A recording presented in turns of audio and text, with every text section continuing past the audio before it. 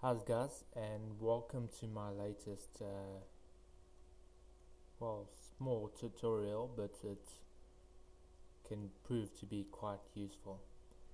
Um, basically basically what I'm going to be showing you is how to make a blink for the eyes. Um, this application can be used on many things. It can be used on facial expressions ears the tongue, anything that you want to and it's all done with uh, the cat cat system. But for this uh, tutorial I'm just going to be using it on the blink of the eye. Of course you're meant to have the lower blink and the upper blink but for this demonstration I'm just going to be doing the lower blink. So let's get started uh, one thing to remember is that um, for the facial rigging I always do it on a separate cat. I don't uh, mix it with the main uh, cat's body. The body I do on a different cat and undo that uh, none. And then I link this up to the body of the character. So just roughly I'm gonna align this to the character so it's in the right position. And let's start off with creating a pelvis. Now this pelvis we're gonna be linking up to the head so if you imagine you have your character body this will be linked up with your character head so that when you move the head this goes along with it. So that can just stay there. We don't need to do anything special for that. So now what we want to do is we want to add bones for this character's eye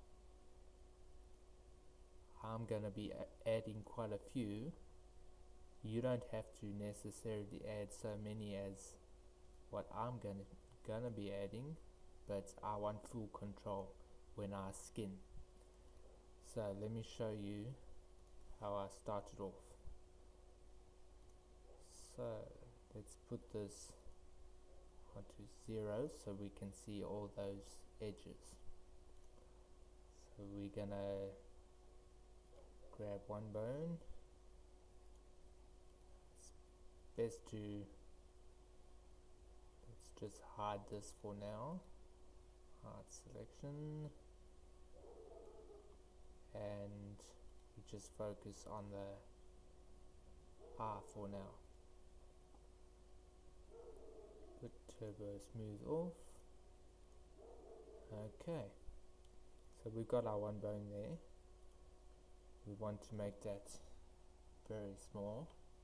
Let's take it down to 1 and to 1 okay so we want to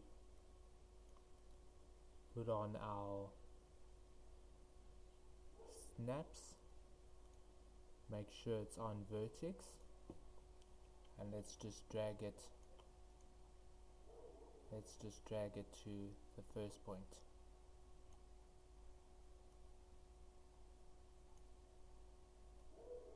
Okay. Of course I'm not going to be showing you all of this because it will take too long. Okay so we got our first bone linked up there.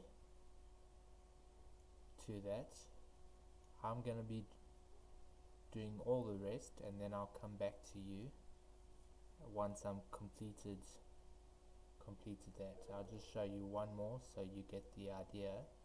Add a bone. Change the settings to all to 1 and then just move it into place until it's aligned to that vertex okay so I'll come back to you once I'm finished that